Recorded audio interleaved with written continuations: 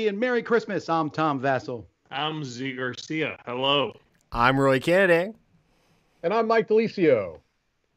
Welcome back to our series of games to buy for people for Christmas, or if this is maybe you've been given this list by one of your friends. Uh, we're doing different categories, and today's list of 12 games is advanced strategy. These are the complicated games, the games if you are quote unquote a gamer and you're looking for the game, these are what we recommend. The games that you can spend hours and weeks probably on each one of these, playing them for quite a long time. Right. right.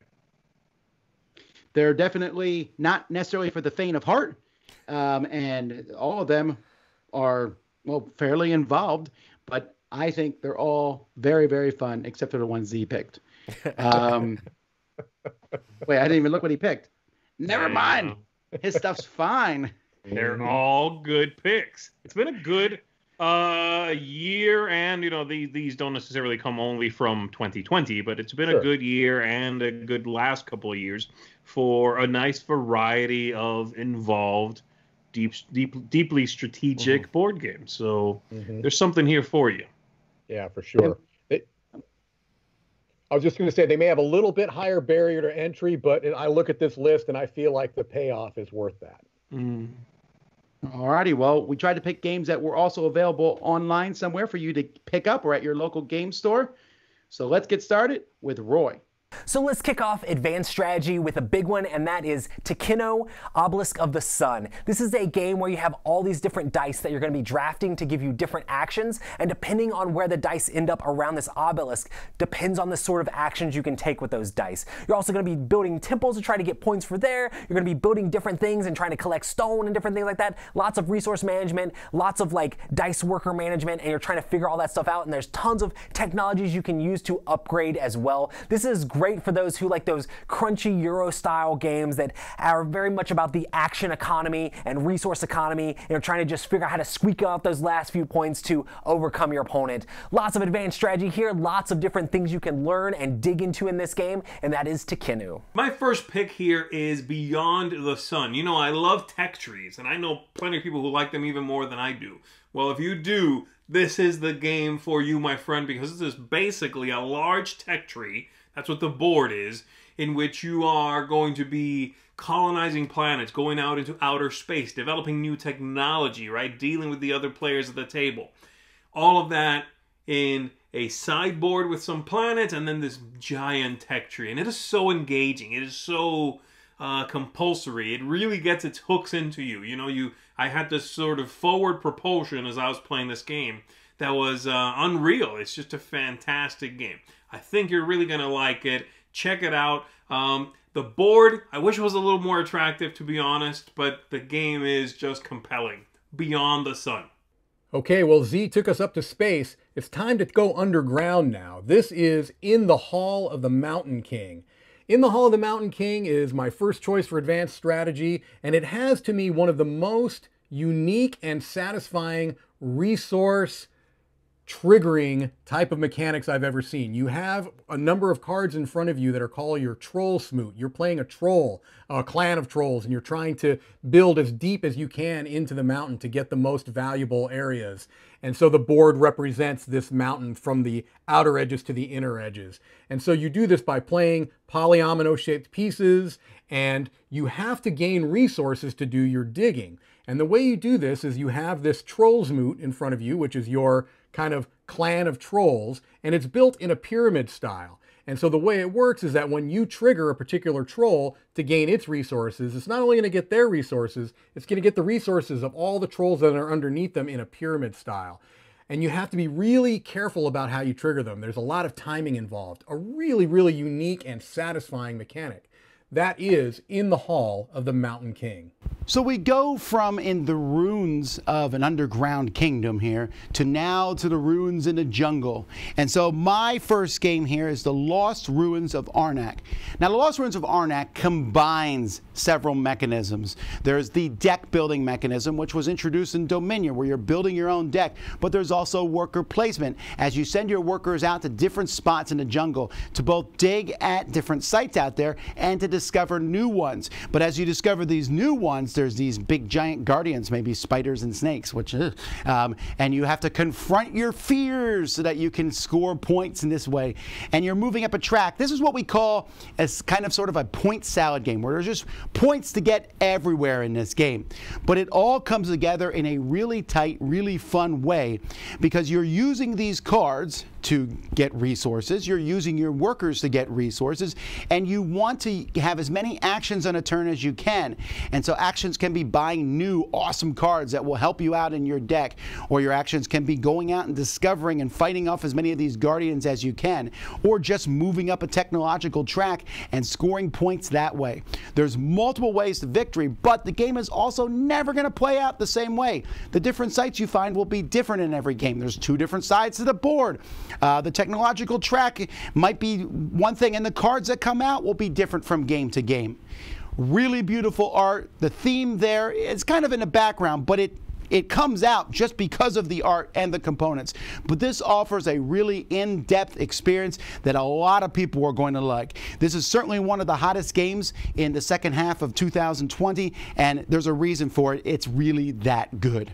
My next one here is an older game, but it's one that I have played several times this year, and I feel it could be great for an advanced strategy list, and that is War of the Rings 2nd Edition. This game has all sorts of different strategy as you're min-maxing your actions, trying to figure out exactly where you want to go on the board. It's very asymmetrical as one side's the Fellowship, the other side's playing the Shadow, and there's different strategies completely for each side. The Fellowship's just trying to hang on and get that ring into Mount Doom, but maybe they can try to figure out how to muster forces in different areas. Lots of interesting decisions there. And then as the Shadow player, you have to figure out which strongholds you're going to attack. The Shadow player is trying to take over strongholds. The Free people are trying to get that ring to Mount Doom, and it's all about holding on and playing strategically with all of these different action cards you have as well, and figuring out the best time to use all of them and where to strike your opponents. This is a big, grandiose, epic strategy game, and that is War of the Ring.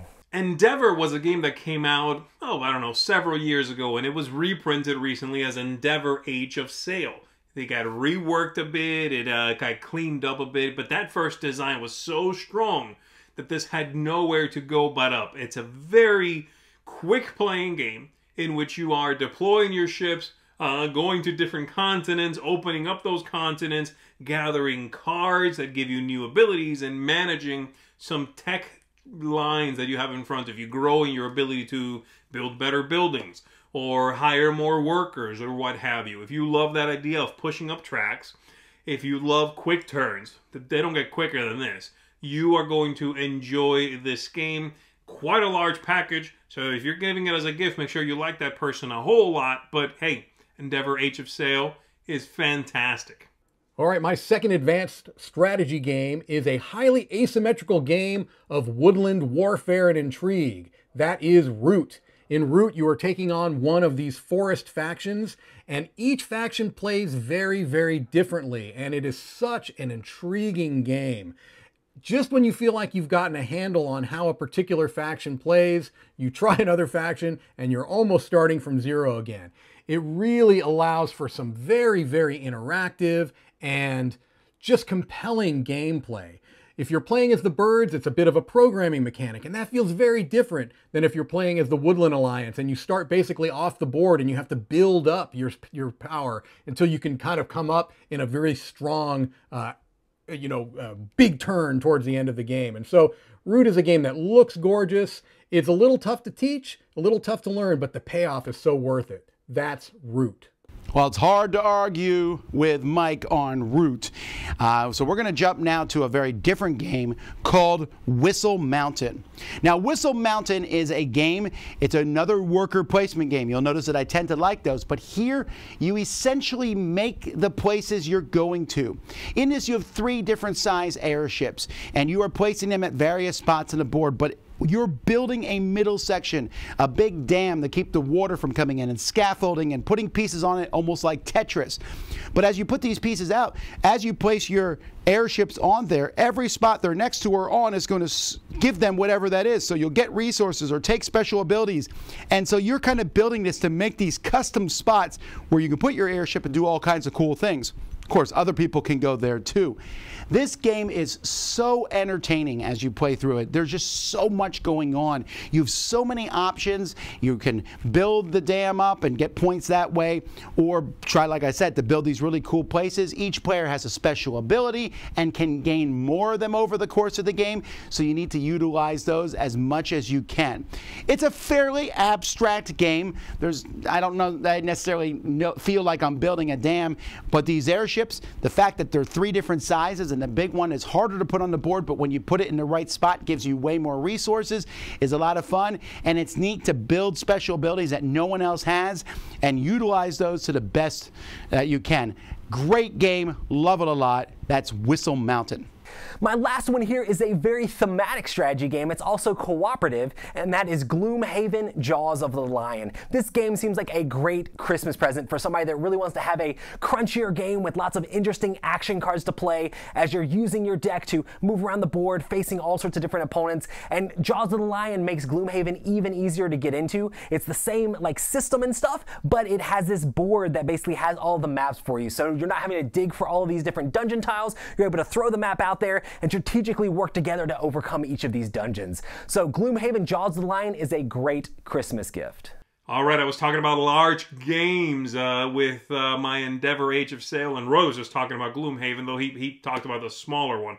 Well, Black Angel, which is my next pick, is also quite a large game. Again, we are in space here, much like Beyond the Sun, and you are going to be uh, rolling dice and then using those like workers to take actions. You're going to be activating the Black Angel, parts of the Black Angel itself, which is the spaceship, or you are going to be deploying uh, ships outside into space and flying around, going to different planets.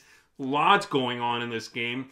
Very thinky, very involved, but an extremely good rulebook, a really distinct look, very captivating look, and just fantastic strategy throughout this packs a punch. There's a lot in there, and I really enjoy it. So check it out, Black Angel.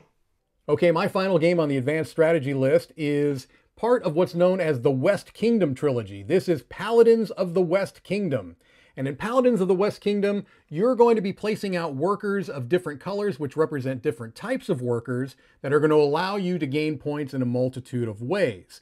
You also have to account for different tracks that are going to influence each other. And so this is one of those games where there are so many things that you want to do on your turn, but you just can't quite do it. You're one resource short, you're one worker short.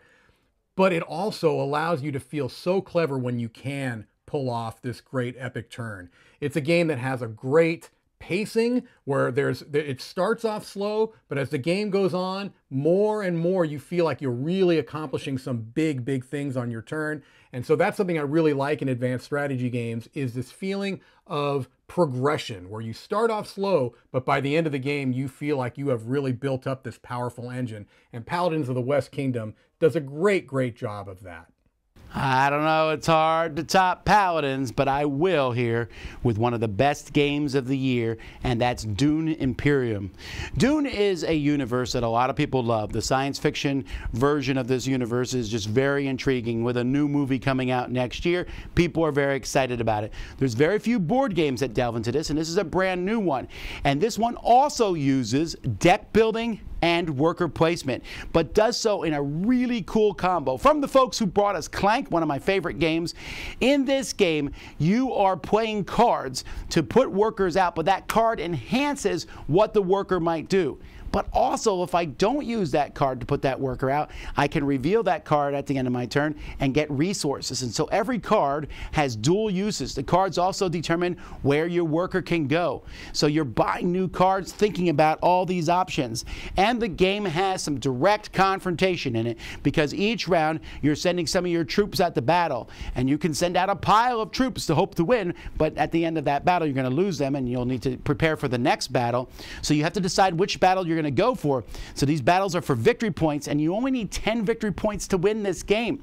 So you're thinking about those battles. You're thinking about getting influence with the Fremen and the Emperor and the Trading Guild and uh, Bene Gesserit. There's all different things. The theme, I think, comes through really well, has really great art, but it's the game itself that has me going back again and again and again. And even though I love this game with three and four players, uh, Mike played this game solo with there's an app that you can play or you can play with cards from the box and he said it works really well that way too. So a one to four player game that works fantastic. If you love the dune universe you will really like this game. And even if you don't the gameplay is that strong. One of the best games of the year. Certainly one you should check out. That's dune imperium. Whew, if you tried to play all these in one day you couldn't.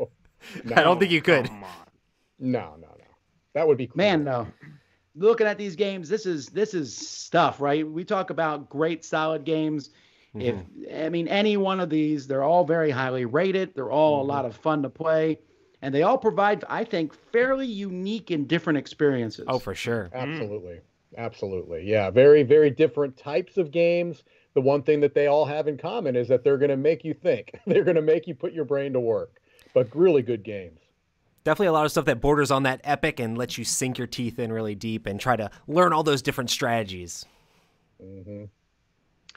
And if you think they're too complex for you, we did a list of strategy games which are slightly less complex. You can check that out, or all, any one of our lists. We have lists going up all week in different categories for the 12 Games of Christmas series. But we're going to get going here. I hope you have fun Christmas shopping season. Until next time, I'm Tom Vasel. I'm Zee Garcia. I'm Roy Kennedy. And I'm Mike Delisio. Have fun thinking.